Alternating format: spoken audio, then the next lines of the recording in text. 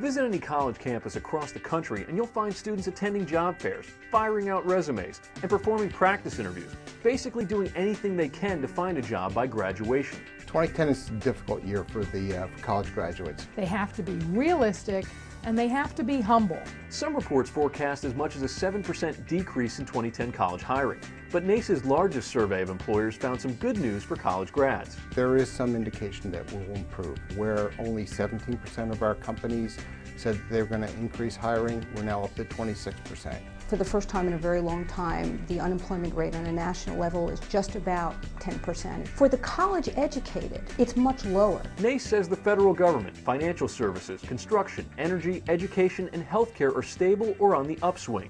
And students majoring in business, engineering, or liberal arts should keep an open mind throughout their job search. Get as much information as they can before they accept a job and prepare themselves for what's going to come ahead. All students have to be ready to tell the employer how they can add value. They then can reflect on their own skills and strengths and tell the employer what they're going to be able to do for them.